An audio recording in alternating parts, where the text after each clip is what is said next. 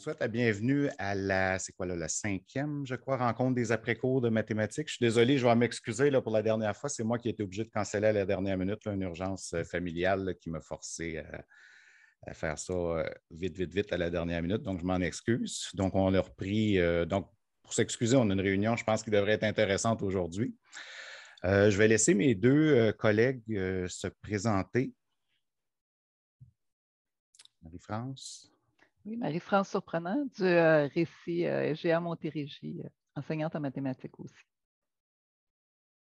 Bonjour, Luc Lagarde du Service national du récit des maths, sciences et technologies.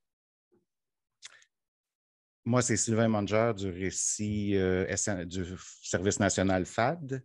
Euh, évidemment, on ne passera pas beaucoup de temps à faire l'accueil. Vous n'êtes pas venu ici pour nous entendre vous dire des bonjours. Donc, euh, la seule chose que je vais vous demander tout de suite, s'il y en a qui ont des points pour le Varia, euh, je vous avertis tout de suite, je ne vous garantis pas qu'on va avoir le temps les faire, mais je vais vous inviter à les, euh, mettre dans la section C6 dans l'ordre du jour. Euh, petit bémol que je vais mettre, c'est vrai, on peut en parler avec Richard, il faut faire attention, là, on, est, on est en direct. Pour l'enregistrement, je sais que les interventions de M. Dostaler, on ne pourra pas les, mettre dans l'enregistrement parce que là, il y a des permissions à avoir quand ça vient du ministère. Puis aussi, plus loin, là, quand on, va parler d'examen, évidemment, il y a des choses qui vont. On va, on va se laisser quand même le dire pendant la rencontre en direct, mais Richard va venir après là, couper les morceaux qui doivent être coupés. Donc, euh, pour ce faire, on va essayer de garder des traces le plus possible dans le document collaboratif. Je vais prendre encore, j'ai encore une couple de questions qui se ressemblent, sont dans le même, euh, dans le même ordre d'idée, puis après ça, je vais, euh, je vais passer à, Manon parce que je veux être sûr qu'on laisse le temps à cette, euh, intervention-là. Euh, je pense que c'est toi, Hugo, qui a mis ça. Ça, je trouve que ça se ressemble. On parle de Desmos et GeoGebra dans une et de calculatrice à affichage graphique. Oui, Hugo, je vais te laisser aller. oui, ben, ben, dans le fond, c'est juste pour euh, une question parce que, comme vous savez, probablement dans les DE, on autorise des calculatrices à affichage graphique avec certaines conditions, là, sans calcul formel, sans possibilité de résolution d'équations, etc., etc., etc. Peut-être que c'est moi qui ne le sais pas, mais euh, j'ai cherché, puis j'en ai pas trouvé des calculatrices qui, répondent à tous ces critères-là. Euh, présentement dans nos centres, puis je crois que c'est le cas dans plusieurs centres, là, on a des calculatrices qui, euh, qui font des calculs formels sans que l'élève sache un peu trop comment le faire. Donc là, je ne sais pas trop, est-ce qu'on contrevient à la, DDE? Est-ce qu'on continue comme ça? Est-ce que vous avez des, suggestions pour nous? Est-ce que vous savez s'il y a des calculatrices qui, qui, seraient 100% euh, conformes à ce, que, à ce qui est demandé dans les DDE? Parce que c'est comme une espèce de, couteau à double tranchant. Par exemple, dans le 4152, on autorise l'étudiant à faire des calculs à l'aide d'une calculatrice affichage graphique, mais à l'examen, c'est comme pas autorisé euh, avec cette calculatrice. -là. Bref, c'est un petit peu euh, délicat. Dans un premier temps, c'est parce que dans la phrase euh, d'Hugo, ce qui était bien important, c'est de dire que euh, il y a des élèves qui utilisent des calculatrices à charge graphique, on en prête, soit qui en ont ou qui ont du calcul formel, mais ils ne s'en servent pas parce qu'ils ne savent pas comment ça fonctionne, ce qui est tout à fait, euh, convenable ou logique. Il y a beaucoup, euh, beaucoup de gens qui ne le font pas.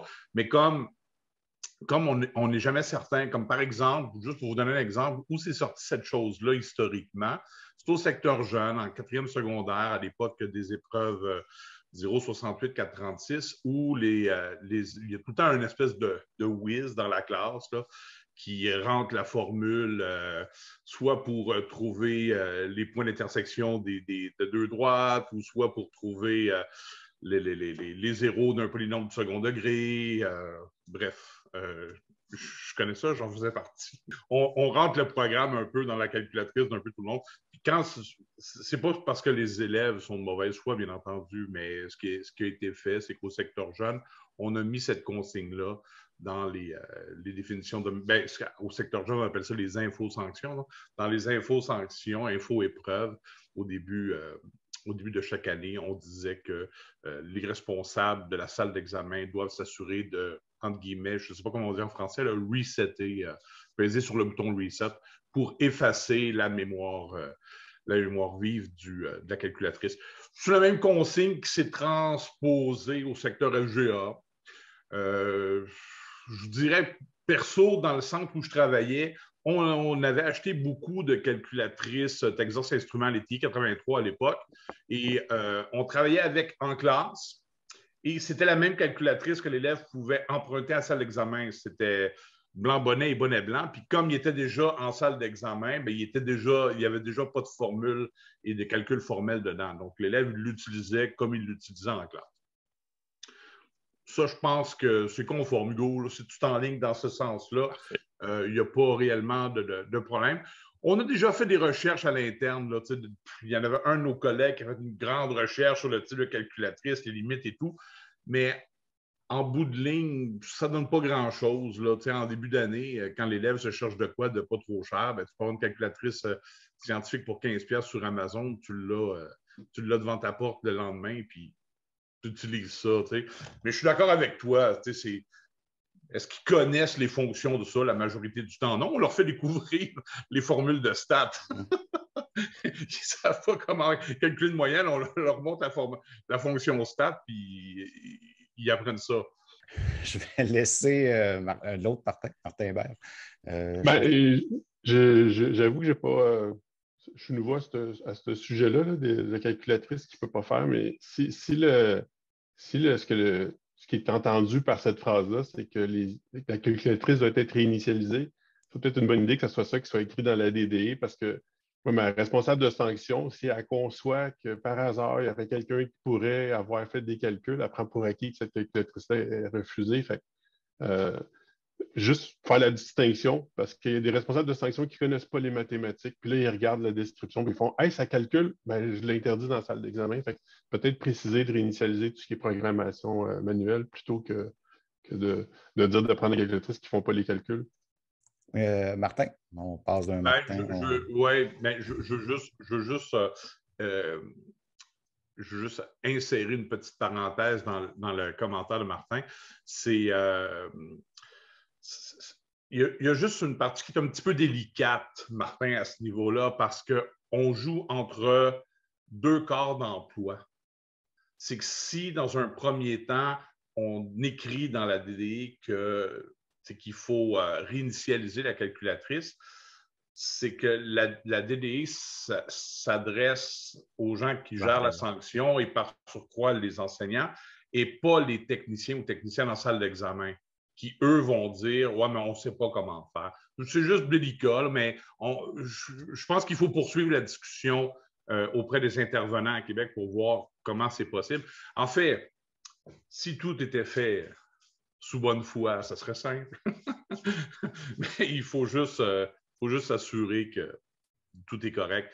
de notre côté, nous, quand je travaillais à Saint-Eustache, quand je travaillais au CFCP, ce qu'on faisait, c'est que la technicienne, elle, ne voulait pas jouer sur les calculatrices, elle ne voulait pas. Fait ce qu'on avait fait, c'est qu'on avait créé des on avait acheté des calculatrices à vocation salle d'examen. On avait des calculatrices à vocation salle de classe qui étaient idéales. Mais c'est tout le temps le partage des responsabilités qui, pose un, problème quand on met en application ces choses-là. Mais je pense que c'est un sujet à, gratter, à aller plus loin. Merci, Martin. Euh, là, j'ai une dernière petite intervention. Je ne sais pas, je pense que c'est Guillaume qui a mis ça, mais je veux vraiment passer à l'intervention de Manon le plus vite possible. Peut-être, Guillaume, tu pourrais peut-être juste nous énoncer ouais. une idée, puis au pire, on reviendra, on laissera la discussion pour un petit peu plus tard. Pour, euh, je ne m'attends pas, je m'attends vraiment pas à une réponse de toute façon aujourd'hui. Euh, c'est vraiment, dans le fond, nous, ça a été souligné dans notre équipe, l'idée d'avoir Desmos ou GeoGebra, qui sont des calculatrices graphiques, mais numériques, dans le fond. Ce qui de les avoir en mode examen, qui, maintenant, ces logiciels-là ont développé ces options-là dans lesquelles les élèves, justement, ne peuvent pas faire toutes les options de Desmos puis GeoGebra. Puis on se demandait si un jour ça pouvait être considéré d'être toléré. Puis peut-être même rajouter de l'impression. Là, ça, c'était un point qu'on trouvait qui serait le fun. Un graphique, l'élève, il le fait, puis il l'imprime, puis après ça, il l'analyse. Ça serait tellement, ça serait tellement fantastique. Je pense que ça nous permettrait d'arriver aussi en 2020. Deux, 3, 22, 22, 23, 24, 25, je ne sais pas combien de temps que ça va prendre avant que ça, arrive, mais on trouvait que ça pourrait être un outil quand même très, très, très intéressant. Donc, ça m'a fait penser l'idée des calculatrices graphiques, là, mais donc, euh, ça soit quelque chose qui, euh, qui soit peut-être pensé au ministère, ça serait vraiment le fun. Donc, je vais passer au prochain point hein, parce que je, je sais qu'il intéresse beaucoup de monde. Ça ne doit pas être par hasard qu'on a beaucoup de gens ici. Euh, j'ai Manon Bilodeau ici de BIM-FGA qui est, qui fin parce qu'elle nous a contactés pour, au lieu de faire des interventions un à un, pour nous venir nous expliquer exactement ce qui se passait. Je vais juste essayer de mal résumer la situation au départ. Là. essentiellement, je sais que, puis quand je dis mal résumé, c'est que moi, je suis comme FAD, FAD au niveau FAD. Donc, ça fait quand même une couple d'années que je suis, euh, je suis loin des les examens de maths. Donc, ce que, ce que je vois, c'est ce que j'ai vu de la conversation dans le, forum. Puis pour ceux qui nous, qui nous écoutent en enregistrement, ben, vous pourrez peut-être aller voir la conversation là, si vous voulez avoir plus de détails. Mais essentiellement, la problématique qui est au niveau des examens de secondaire 3 en lien avec les nouvelles DDE. Puis je trouvais ça intéressant que maintenant, c'est beau, oui, là, on, critique le résultat, mais ça serait on trouvait intéressant qu'elle vienne nous présenter le processus qui mène à ça et pourquoi que ces décisions-là ont été prises. Donc, euh, ça m'a donné une meilleure idée aussi de, de, à quoi s'attendre et pourquoi les choses sont comme elles sont. Merci beaucoup.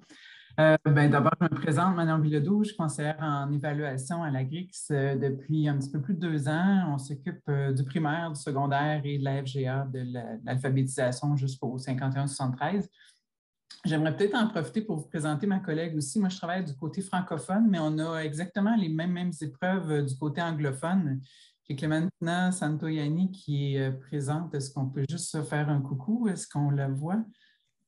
Moi, je la vois sur mon écran. Alors, rapidement, je vais me présenter. Oui, Clémentina Santoyani, responsable conseillère en évaluation des mathématiques au secteur anglophone. Je suis aussi, par contre, la chef d'équipe pour le secteur EVA chez Alors, voilà. Bonjour à tous. Merci. Bonjour, alors je reprends la parole. Donc, euh, on est les deux justement qui travaillons euh, sur les épreuves FGA.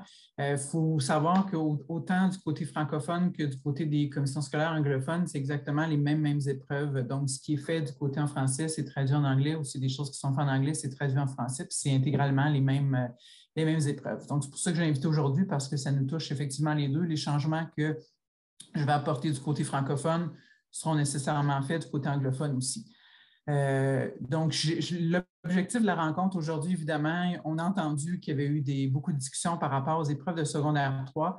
Euh, on a pris contact avec des gens pour euh, avoir le pouls parce que nous autres, notre seule manière d'intervenir, c'est si on reçoit des rétroactions.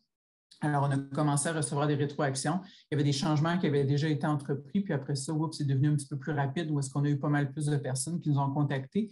Je vous dirais que j'ai eu des conversations peut-être avec une quinzaine de centres de services jusqu'à maintenant. Et je faisais un petit peu la même chose à chaque fois, c'est d'expliquer le processus qui a suivi le changement des DDE. Puis aujourd'hui, mon objectif, c'est justement de le rendre disponible à tous ceux qui sont, euh, qui sont présents aujourd'hui. Je vais essayer de faire ça le plus rapidement possible. Puis de vous présenter aussi le plan de match parce que oui, il va y avoir des changements, évidemment, avec une insatisfaction euh, qui est quand même assez. Euh, qui est quand même assez grande. Il y a des changements qui vont être apportés. Fait que ce sera pour vous donner le plan de match pour ce qui s'en vient. Euh, donc, oui, merci. Il y a quelqu'un qui a partagé la fiche de rétroaction euh, pour envoyer les épreuves. Euh, c'est sûr que là, on en reçoit beaucoup. Il y a des moyens, des fois, pendant que je vois ça, pendant que les gens les envoient, des fois, si on peut avoir un représentant, sais, un représentant qui prend les idées de tout le monde et qui en envoie une à partir de toutes les idées, c'est quand même peut-être plus facile à gérer que chaque personne qui nous envoie des. Tu sais, des fois, on reçoit des, des préférences pour certaines personnes. C'est sûr que des préférences, des fois, on ne changera pas l'évaluation pour une question de préférence. Quand il y a un problème qui est plus majeur, on va le faire. Si je vous explique un peu comment ça fonctionne habituellement, les rétroactions, nos épreuves qui sont en ligne, on n'y touche pas, on n'y revient pas, sauf dans des cas de rétroaction qui sont importantes sur des difficultés, des choses comme ça, ou évidemment s'il y a un changement de DDE. Dans d'autres cas que ça, s'il y a des problèmes qui sont notés, si on n'a pas de rétroaction, on n'ira pas retravailler les épreuves, sauf en, ayant des informations. Donc, dans ce cas-ci, pour les épreuves de 3, ça a d'abord été euh, apporté pour nous au changement qui était fait en 51-73 51-63. On savait qu'il y avait un changement d'EDE à ce niveau-là, puis que la même chose s'appliquerait au niveau de secondaire 3. Au niveau de 51-63 et 51-73, il y a toujours un prototype ministériel. Puis nous, c'est à partir du prototype ministériel qu'on bâtit des épreuves euh, du même genre. on a accès euh, par, confidentialité aux épreuves du ministère, puis on bâtit des épreuves par la suite. En secondaire 3, il n'y a pas de prototype, alors c'est directement nos épreuves. Le changement DDE, vous l'avez vu pour la plupart, bon, c'est sûr que ça touche un petit peu plus les concepts et processus en secondaire 5, mais pour secondaire 3, le, changement qu'il y avait, c'était une question en moins au niveau euh, de la section A, donc on retirait une question à cette partie-là. Puis, euh, c'est sûr que le retrait de la question, les changements que ça a apporté de notre côté, bien, quand tu retires une question, des fois, tu retires un concept et processus qui est associé à cette question-là. Je pense entre autres, mettons, un changement de, paramètres. Donc, euh, justement, un changement, je donne un exemple en 3051, par exemple, on retire une question qui portait sur un changement des paramètres dans les taux de variation, quelque chose comme ça. Bien, cette question-là, si je n'ai pas, par exemple, je, me souviens plus en 3051, c'est combien de concepts et processus minimal, des fois, mettons, c'est sept sur les grandes lignes, si on veut sept savoirs sur, euh, sur neuf qui doit être présent, mettons quelque chose comme ça. Et si j'en retire un, il faut que je le, réintègre quelque part dans une de mes questions. Alors, il fallait que je fasse ce changement-là. Donc, c'est sûr qu'il y a eu des fois où ça n'avait pas tant d'impact parce que c'était déjà repris. Il y a eu d'autres fois où est-ce que ça avait plus d'impact.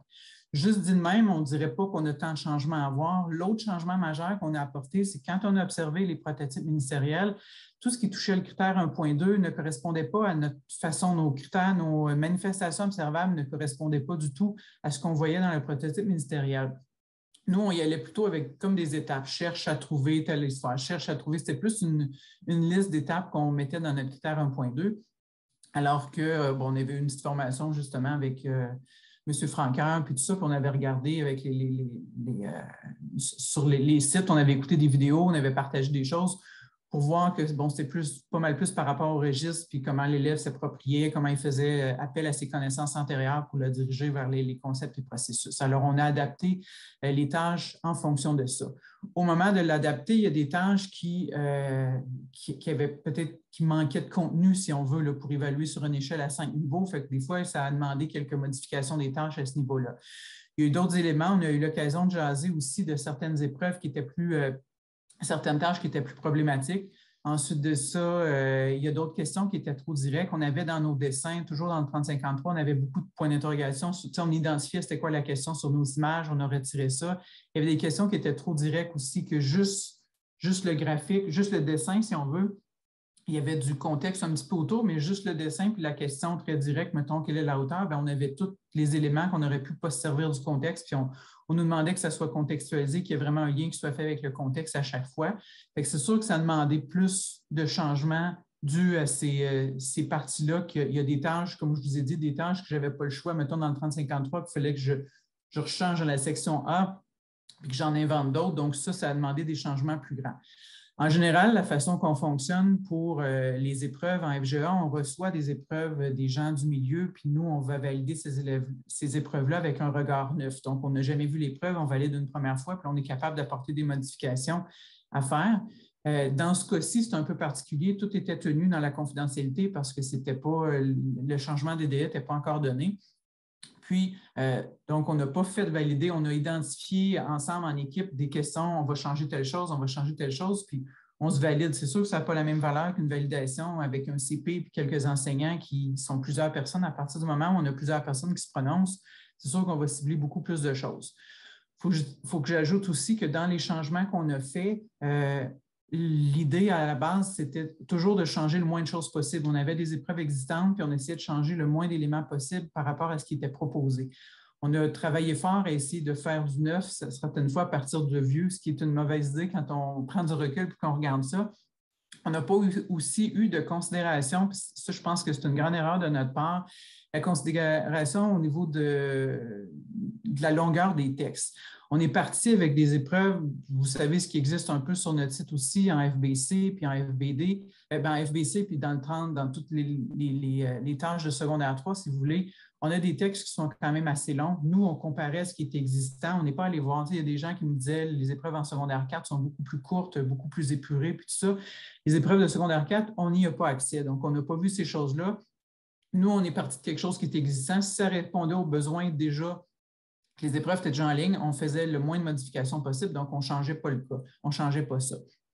Là, à partir des. Euh, je pense que c'est justifié, c'est sûr, quand on le regarde avec un œil différent maintenant. On n'a pas eu cet œil-là, si vous voulez, à ce moment-là, parce que ce n'était pas les changements qui étaient ciblés. Quand on regarde un œil différent, on est très d'accord qu'il y a des fois, on prend cinq lignes pour introduire quelque chose alors que ça se dirait en une seule phrase. C'est des changements qu'on peut faire rapidement. Alors, si je vous, euh, résume rapidement ce qui s'en vient, c'est un peu ça. Avec tous les commentaires qu'on a eus du milieu, ce qui est ressorti, c'était, on était capable d'identifier deux épreuves dans chacun des sigles qui, avaient beaucoup moins de commentaires dessus. Fait qu'on s'est dit ce qu'on va faire, s'assurer que bon, s'il y a des, des, centres de service, nous, on ne peut pas dire on va mettre de côté, par exemple, la version A, mais les centres de service ont le pouvoir de retirer une épreuve pendant un certain temps si c'est ce qu'ils souhaitent. Fait qu'on s'est dit on va travailler au moins que chaque centre de service ait deux versions qui fonctionnent bien. Alors, on s'est penché sur ces versions-là pour réduire le texte quand c'était possible. Donc, on a, fait, on a ajouté la considération. Euh, c'est plus euh, pédagogique si on veut comme ça. Puis on a, on a aussi essayé d'ajouter les petits commentaires que les, gens demandaient dedans. c'est ce qu'on a travaillé en premier, c'est ce qui va être mis en ligne. Les petites corrections qui vont être apportées, les premières, sont celles-là. Il y avait d'autres corrections qui avaient commencé à être apportées avant qu'on reçoive la, masse de, commentaires, si vous voulez. Fait que ça, ça se peut que ça soit mis aussi en ligne on n'aura pas nécessairement le temps de changer toutes les questions. Les dernières versions, oui, des deux autres, on va les faire assez très rapidement. Là, ça va être fait dans les, probablement les deux prochaines semaines. Les autres, des tâches qui ont été demandées, ça se peut, mettons qu'on m'avait demandé un changement sur une tâche 2 qui était problématique, on m'avait proposé quelque chose qui était très efficace, les changements sont presque finis, je vais changer ça. Quand je vais le publier, je n'attendrai pas de revenir sur le restant de la tâche, plus, ça va être plus euh, pour, pour, la rendre accessible le plus vite possible, on va la mettre là. Ensuite de ça, une fois que les, ce que je vous ai dit qu'on ferait, les, les, fameuses deux, deux, versions de chaque, de chaque signe qui soit rendu disponible, on va se pencher, à partir de toutes les rétroactions qu'on a reçues, on va se pencher sur mettre en ligne le plus rapidement possible une troisième version, celle qui suit, si on veut, qui a eu le moins d'impact possible pour faire ces changements-là à partir des rétroactions qu'on a reçues. C'est possible à ce niveau-là qu'on ait fait valider justement avec d'autres équipes. C'est une, proposition qu'on reçoit. C'est un peu au même titre, c'est juste une personne qui me la propose, bien, je la remette en ligne, ça se peut qu'il y ait encore une, insatisfaction. Fait qu'on va essayer de faire valider, euh, faire valider ces changements-là. Puis pour les autres, il y a eu des tâches qui, étaient, qui vont vraiment devoir être changées euh, plus en détail. Alors, ceux-là, on va tenir des, journées où est-ce qu'on va inviter les gens, euh, on va inviter des gens à venir euh, élaborer avec nous des nouvelles tâches. Donc, ce qu'on essaierait de faire, c'est peut-être, mettons, inviter environ, mettons, six personnes. On les mettrait deux par deux. Vous travaillez sur telle tâche selon les besoins qu'on nous a donnés, selon les, les paramètres qu'on nous a demandés vous travaillez sur ces deux tâches-là, une autre équipe travaille sur une, autre, une autre équipe, puis ensuite de ça, tout le monde va valider. Donc, on va avoir plusieurs personnes pour pouvoir valider les épreuves en même temps. Ce serait notre souhait pour euh, le travail dans ce qui s'en vient. Je pense que j'ai pas mal tout dit. Je ne sais pas, Kemantina, s'il manque des choses, si tu veux compléter. Euh, je pense que tu as bien résumé ça, mais peut-être qu'il y a des questions. Je ne sais pas. C'est bon. Merci.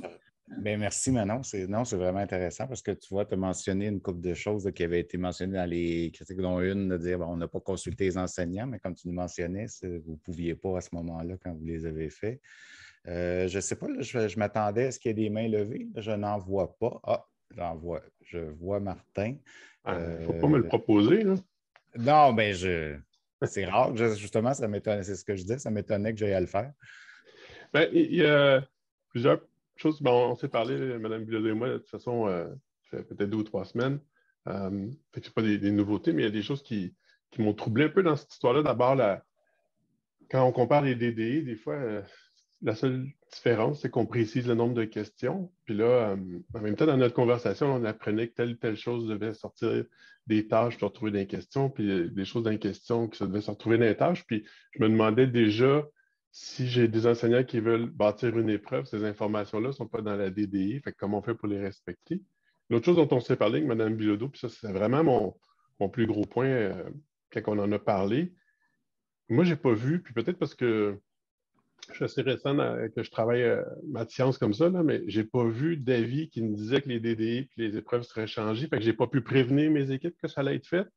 Puis quand les examens sont arrivés en plein milieu d'année, j'ai eu plusieurs euh, commentaires. Quand je dis plusieurs, on est en bas d'une dizaine, mais quand même, trois, quatre profs qui m'ont dit j'ai une élève qui est allée en examen, qui était sûre de réussir, puis qui a été surprise par les modifications. On n'avait pas préparé de telle ou telle façon. Euh, dans le 3052, j'en ai parlé avec Mme Bilodeau, entre autres, la probabilité géométrique prend beaucoup d'espace dans les nouvelles versions. Puis là, les élèves n'étaient peut-être pas assez préparés dans certains cas pour ce type de probabilité-là en particulier. Puis quand il y a deux tâches sur trois qui porte sur ce type de probabilité-là puis qui élève la difficulté, ben, c'est un échec euh, automatique parce que, parce que deux tâches sur trois, c'est suffisant pour, pour l'échec.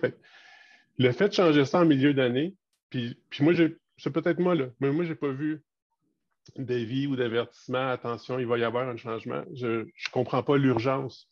Quand on fait une fermeture de cycle, quand on a des modifications, seulement on les fait au 31 août. Euh, là, changer des examens en cours d'année, euh, changer des, programmes en cours d'année, je ne comprends pas l'urgence, puis je suis, un peu, surpris, puis je suis un peu inquiet, parce que s'il y a d'autres modifications comme ça en cours d'année dans des programmes de FGA, je trouve que ça ne fait pas de sens pour nos élèves. Nos élèves commencent un programme avec certaines. Euh, ils commencent des cours avec un certain programme, puis le programme change pendant qu'ils sont en classe. Ça ne fait pas de sens pour moi, cette particularité-là. je voulais juste amener ça. Là. Ben, c'est intéressant de toute façon, Martin, que tu nous le partages, même si tu dis que tu as déjà eu une conversation. on, est, on est presque une quarantaine ici, donc euh, au moins qu'on ait toutes les mêmes, euh, ait toutes les mêmes informations, ça va aider euh, beaucoup. Martin, Martin, oui. non, ah, mon Dieu, on est. Je trouvais qu'il manquait de Martin. Oui, ben, c'est ça. Je, je, regarderai même plus les noms. Je, vais, inviter le prochain Martin à venir parler. Non, mais je voulais renchérir sur qu'est-ce que Martin Hébert vient de dire, dans le sens où est-ce que je trouve qu'avoir des modifications en cours d'année, ça alourdit d'une part le travail par rapport à nos élèves qui ont des grandes difficultés, mais je veux aussi, je veux aussi mentionner qu'au secteur des jeunes en ce moment sont dans des programmes allégés à cause de la COVID. Puis nous, on n'a pas été affectés de ça dans quoi que ce soit. Les programmes ont resté de la même façon. dans le fond, moi, de la façon que je le vois, c'est qu'en ce moment, on n'est pas dans des critères de diplomation égale parce qu'on n'exige pas les mêmes choses qu'on soit au secteur jeune ou au secteur adulte.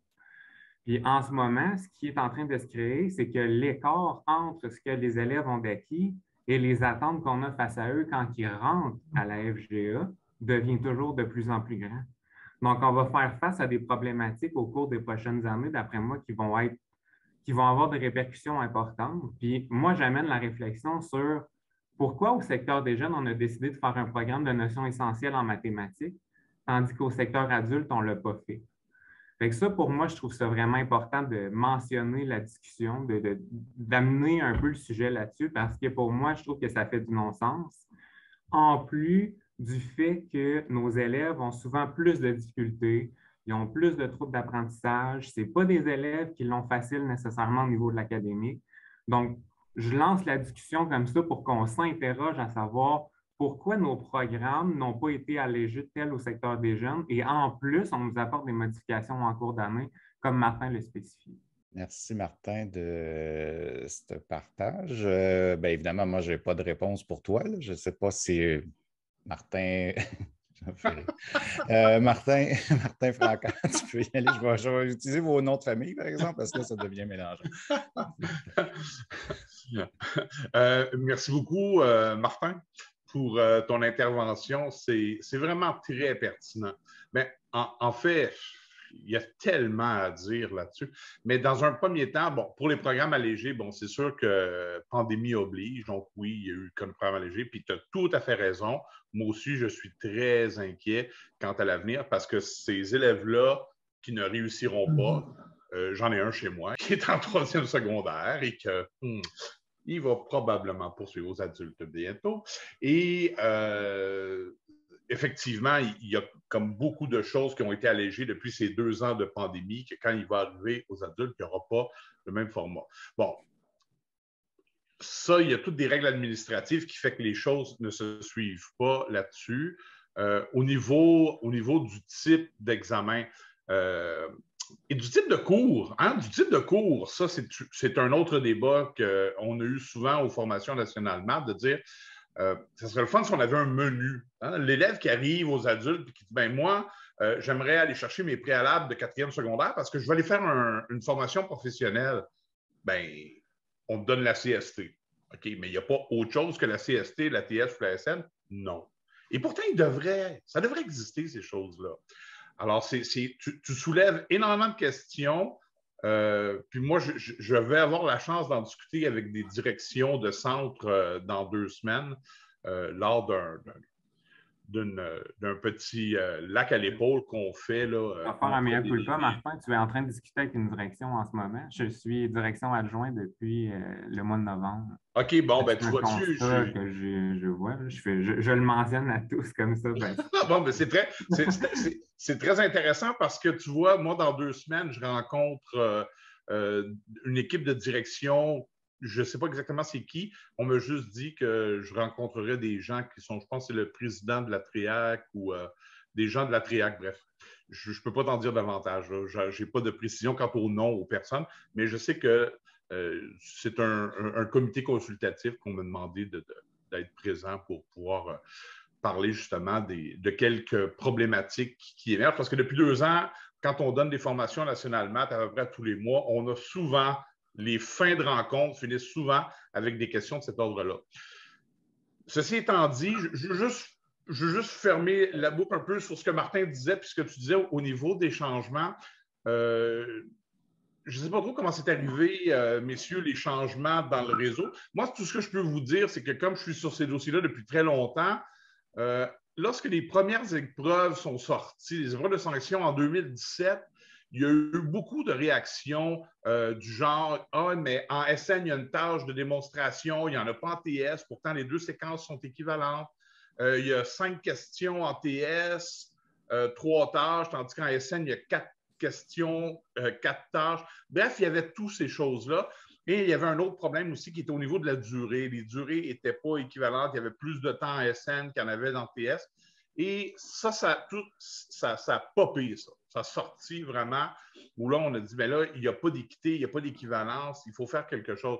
Et ça, ça date de 2018 où, euh, à l'époque, Pauline Lalancette, qui était responsable euh, euh, du, programme de mathématiques, avait annoncé, je pense que c'était à la rencontre nationale, vous savez, on avait les rencontres nationales à Québec à l'époque 2017-2018 avant que la pandémie arrive.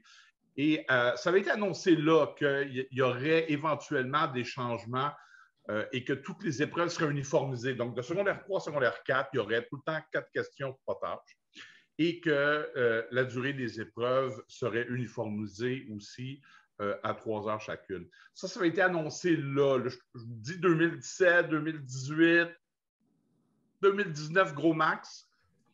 Mais ça, dans ces trois années-là, ça a été annoncé. Mais je ne sais pas, par contre, ça, je ne peux pas vous dire comment ça s'est rendu euh, dans, les, euh, dans les centres là, au niveau des dates de mise en application de ces nouvelles DD-là. Mais ça avait été quand même annoncé euh, il y a un bout de temps. Là. Ça, je, peux vous le confirmer. Merci, Martin. Bon, on a quelqu'un d'autre qu'un Martin, je pense. Ah, je sais pas. Ben, ah, j'avais vu Hugo, puis là, c'est pour une raison ou pour une autre, je pense qu'Hugo avait sa main levée avant. J'ai pensé changer mon. J'ai pensé me renommer pour Martin Hugo, mais je ne l'ai pas fait. Euh, justement, dans, le même, dans la même lignée, Martin euh. Euh, si on veut uniformiser, là, ça vient rejoindre un petit peu une demande qui a été faite en cours. On, on, cherche à uniformiser les épreuves, puis on, on est dans une période d'évaluation de compétences. Pourquoi ne pas offrir tous les outils à l'élève? Donc, pourquoi dire non à la feuille de mémoire en son 3, euh, pas à la feuille de mémoire, pardon, mais aux feuilles de formules déjà fournies, les énoncés. On évalue des compétences, pas je me souviens-tu par cœur ou j'ai-tu écrit sur ma feuille de mémoire la formule de l'air, du prisme, ma base? En tout cas, juste pour aller dans la même ligne, tu dis, on cherche à nous faire muser, parfait, faisons-le, mais aussi en r 3, s'il vous plaît. Ben, oui, comme tu m'as nommé, rapidement. En fait, je ne sais pas exactement ce qui s'est passé, mais j'imagine que les gens qui ont travaillé sur le dossier des DDE ont dû avoir la réflexion suivante. Encore une fois, euh, ça sera validé. Je n'ai pas travaillé sur ce dossier-là parce que moi, je, comme vous savez, je, coordonne un peu l'écriture des tâches de quatrième et cinquième secondaire. ça, je ne sais pas exactement comment ça a été fait, mais je te dirais que la logique, à mon avis, qui, qui est derrière ça, ça doit être le fait que comme euh, les formules de volume et d'air, je crois, je ne connais pas le programme en détail en secondaire 3, euh, sont comme apprises à ce moment-là. Puis si les formules sont disponibles dans l'examen, ben, l'élève il peut automatiquement faire un copier-coller. C'est peut-être ça qui a guidé la chose. De l'autre côté, est-ce que l'élève a le droit à un an de mémoire? Alors, est-ce qu'il pourrait aller mettre les formules? Mais là, tu, vas me répondre, ouais, mais Martin, il y a tellement de formules. Tu as tout à fait raison. Mais ça, je pense que c'est un. Euh, ce serait peut-être plus de voir avec Mme Bilodeau, mais euh, c'est une. Comme ce n'est pas une épreuve de sanction, je pense qu'il y, a moyen, de, y a moyen de, faire avancer les discussions sur ce sujet-là. Je pense que c'est, ça ne doit pas être un sujet qui est fermé, je, pense. Est-ce que tu me permets, Manon, de laisser Mme Bilodeau euh, intervenir, vu qu'elle a été interpellée dans l'intervention précédente? Je vais te laisser aller, Manon. Parfait. Donc, je vais justement répondre. Euh, la question a été posée souvent par formule. Je vais vous donner la réponse qu'on m'a donnée quand j'avais euh, questionné à ce sujet-là. On me disait, c'est un peu dans le sens de ce que Martin Franqueur euh, apporte, c'est que en 3053 en particulier, tu as besoin directement de ça. Puis oui, il y a des questions, des fois, justement, des questions dans la section A qui sont plus directes, où est-ce que la formule va apporter. À ce moment-là, moi, je ne savais pas que c'était permis en secondaire 4 ou que c'était permis en secondaire 5. Les premières fois que j'avais eu les questions, j'avais posé la question par rapport au, euh, au FBC en 2101 puis 2102, où est-ce que c'était permis.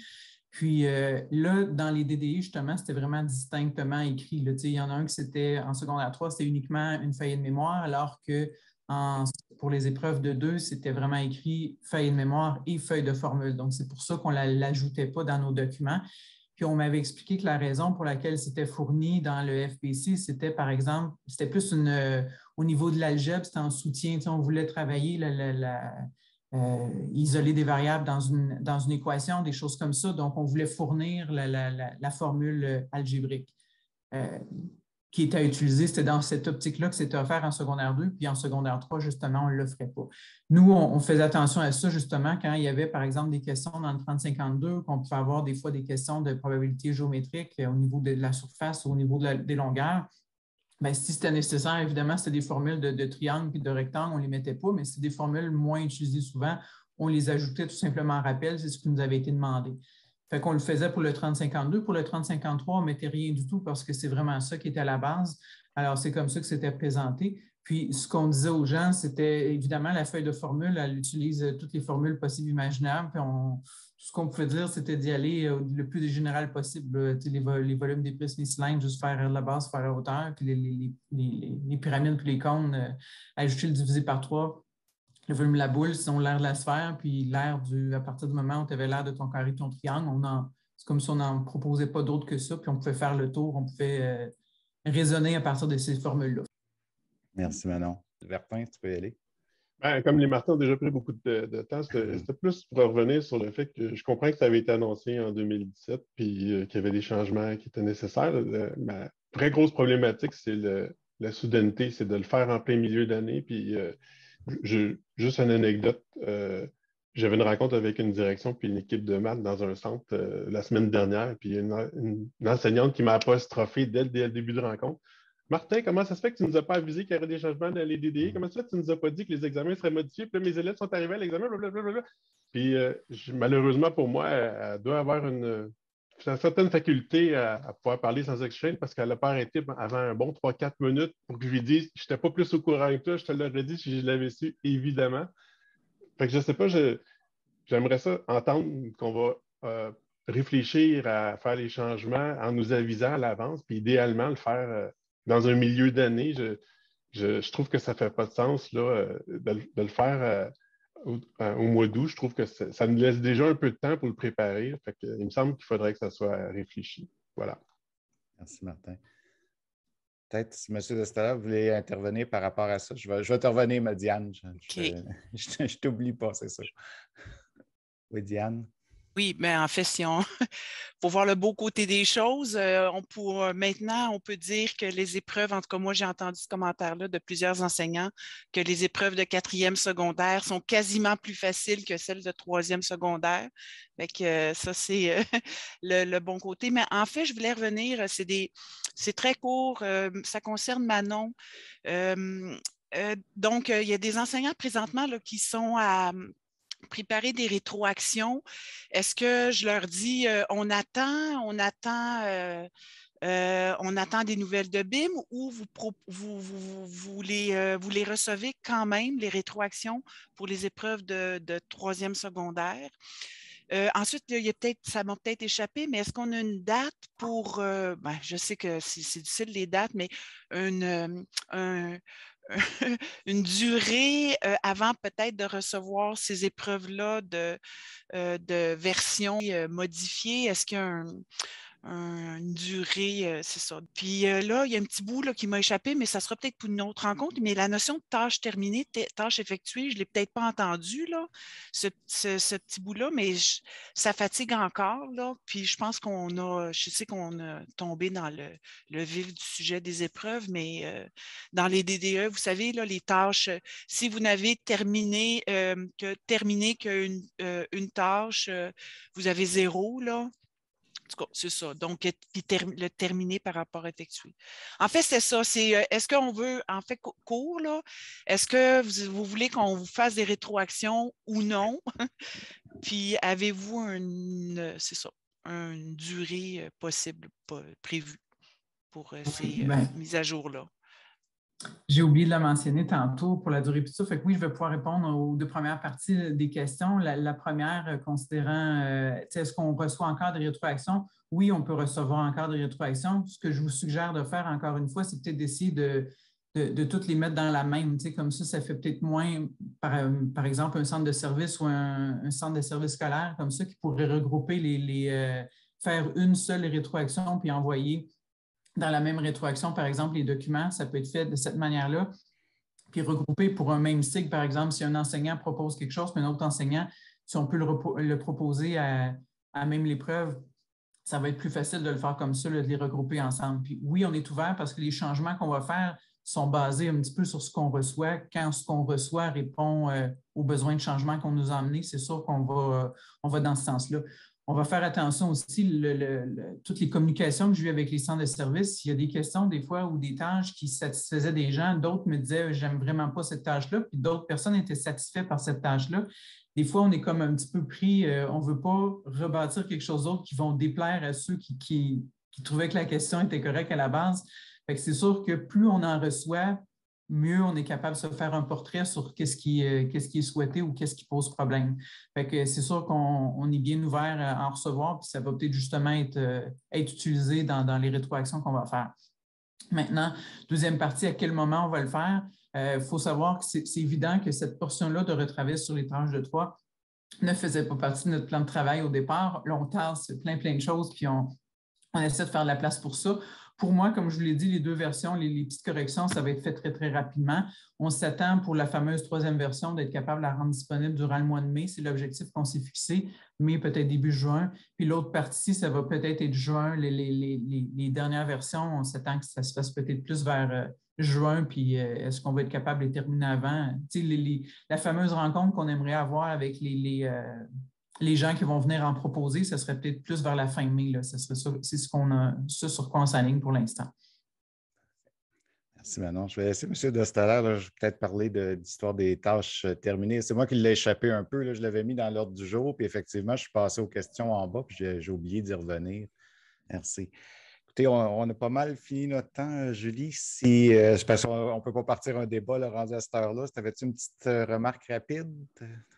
Ben, c'était juste pour renchérir sur le fait que oui, euh, euh, en milieu d'année, changer tout ça, ce n'est pas toujours évident, mais c'est surtout la communication aussi. Puis je ne veux pas blâmer personne, là. je sais que tout le monde fait son possible, euh, mais comme je, prends un exemple en sciences, on sait qu'en sciences de quatrième secondaire, il va y avoir des nouvelles épreuves qui vont arriver. On ne sait pas trop exactement quand, mais on le sait depuis un an et on se prépare, on fait moins, je vais dire quelque chose de bien simple, on fait moins de photocopies. parce que là, on prend des, épreuves, des fois, on a plusieurs photocopies, on gaspille, il y a du gaspillage aussi.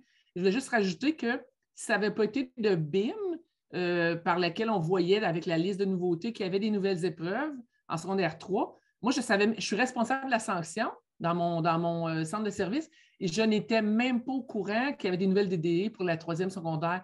Donc, il y a des petits centres où il n'y a pas de CP matière qui, sont qui ont des épreuves locales en mathématiques troisième secondaire, qui sont probablement encore avec leur épreuve locale et qui n'ont même pas euh, vu les nouvelles DDE passer ou rien de ça.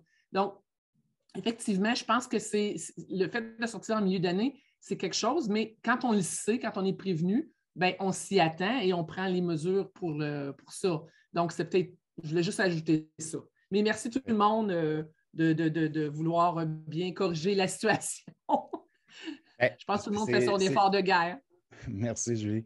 Euh, ben, c'est clair là, que les préoccupations ont été exprimées. Puis je pense qu'elles ont été entendues parce que j'ai vu, en tout cas, j'ai vu M. de prendre énormément de notes. Il l'a mentionné tantôt, mais j'ai l'impression qu'il y a une coupe de pages de notes, donc c'est intéressant. Puis évidemment, il ne peut pas répondre pour les décisions qui ont été prises avant, euh, avant qu'il était là. Fait que sur ça, euh, je vais juste rapidement, j'ai mis beaucoup de liens là, pour des euh, les liens vers la, QFGA, pour euh, la COPS, pour les formations mathématiques. Là, il y a Martin, je pense qu'il y en a une intéressante jeudi là, avec Karine Jacques. C'est toujours intéressant que Karine Jacques. Je ne sais pas si, je ne sais pas c'est quoi le contenu, mais je peux vous garantir que ça va être énergétique, peu importe ce que, quel est le contenu. Euh, puis la seule chose que je voudrais faire, ben, je voudrais certainement remercier euh, M. Destaler pour euh, sa présence. Évidemment, comme je disais, c'est une, invitation ouverte à n'importe quelle rencontre. Je veux remercier Manon. Je ne sais pas pourquoi je dis M. Destaler, puis je, je, me permets de dire Manon, là, mais bon. Euh, et sa collègue que j'ai perdue dans mon écran, donc euh, sa collègue du euh, BMFGA, c'est vraiment c'est le but, c'est d'avoir des canaux de communication qu'on soit écouté. Donc, c'est intéressant. Fait que la dernière chose que je vais faire, je vais vous inviter pour la prochaine rencontre. C'est descendu tout bas. Donc, le mercredi 11 mai à 10 h. Donc, ceux qui veulent mettre ça dans leur agenda, c'est dans le document collaboratif de toute façon sur ce, je vais vous remercier de votre présence, puis je vais vous souhaiter une bonne fin de journée, puis euh, à la prochaine.